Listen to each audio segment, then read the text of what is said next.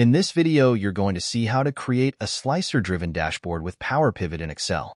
These controls allow you to quickly update charts based on a single month or several months at a time. The filter can also be reset to display the results for all months combined. In this example, we have a data set of daily sales as well as fixed and variable costs for four different locations. Before we begin, make sure Power Pivot is enabled. To do this, go to File, then Options. In the dialog box that appears, select Add-ins. From the drop-down list at the bottom, select COM Add-ins and hit Go. Check the box next to Microsoft Power Pivot and click OK. Next, We'll add our table to the Power Pivot data model. Under the Power Pivot ribbon, click Add to Data Model. Now we'll add a calculated column that adds the fixed and variable cost columns together. Click in the column to the right, hit equals. Select a cell from the fixed cost column, hit plus, and select a cell from the variable cost column and hit enter.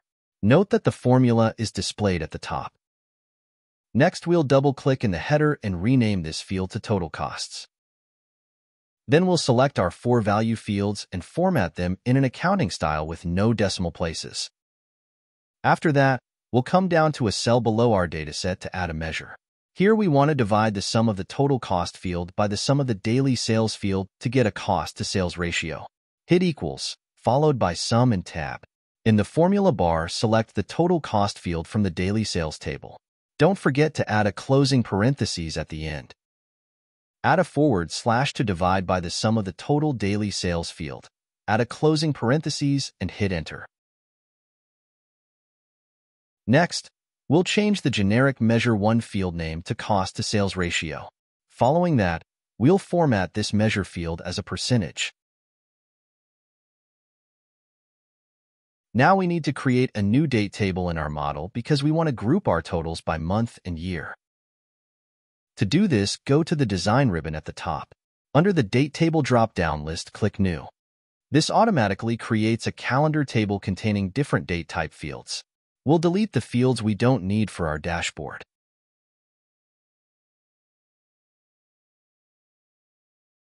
You can now see the month and year field that we want to use for our dashboard slicer.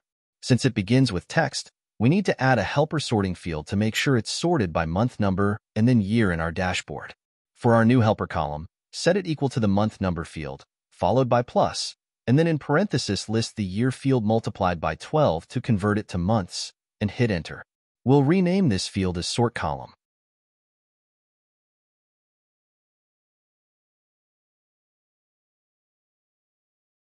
Next, click on the month year field and go to the Home ribbon and click on the Sort by Column option. This allows us to sort our selected month-year column by the sort column field we just created. Next, go to the diagram view at the top right. Here we need to link our two tables together by their related field, which is the full month, day, year field from both tables. Simply click on the date field from one table and drag it to the same field on the second table. The tables are now synced. Now we're ready to create our dashboard. Under the Home ribbon, Go to the Pivot Table drop-down list and select the option for four charts. We'll add this to a new sheet. In our first chart, we'll select the location field for our axis. For the chart values, we'll select our daily sales field and our total cost field. Then we'll right-click on any of the gray field buttons in our chart and select the option to hide them. After that, We'll delete our legend for additional space. Next, we'll click on the plus icon at the top right to select more options. Here we'll add a chart title, data labels, and data table at the bottom. We'll change our title to Sales versus Total Costs. After that, click on the Design ribbon to change the chart style. Now click in the second chart. We'll add the location field as our axis. For the values, we'll look at fixed costs versus variable costs. Once again, we'll right-click on one of the field buttons and hide all of them. Next, we'll go up to the Design ribbon and change the chart type to a 3D bar chart. With the Design ribbon still active, we'll change the design style to match our first chart. Next, we'll go to the Chart Options menu at the top right corner and add a chart title and data labels. Following that, we'll give our chart a descriptive title. Now click on the next chart. Once again, we'll add the location field to the axis. This time, select the cost to sales ratio field for the values.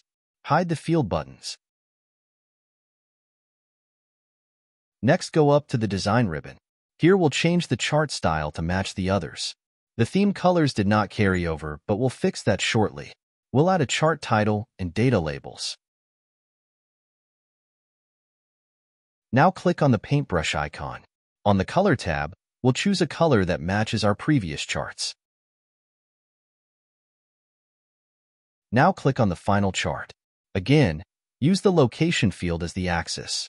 For the values, we'll use total costs. Next, click on the Values drop-down list and select Value Field Settings.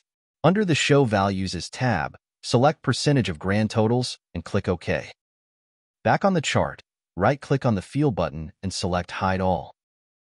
Under the Design ribbon, change the chart type to a 3D pie chart. Then choose a design style that matches our previous charts. Click the Options Plus icon on the top right of the chart to add data labels. Then click the Paintbrush icon and select the Color tab to pick a color theme that's closer to the other charts. Finally, we'll update the chart title.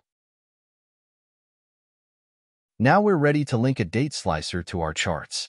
Click on the first chart. Go to the Pivot Chart Analyze ribbon and choose Insert Slicer.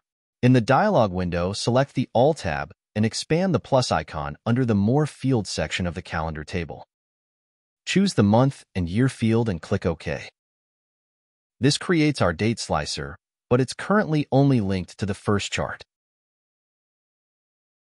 To link it to the other charts, right-click on the slicer and choose Report Connections. In the next window, select the other three charts and click OK. Now, all four charts are linked to our month and year slicer. We can select individual months or hit the clear icon to see all periods together. You can also select several months at a time by holding down the control button as you click. That's it for this time.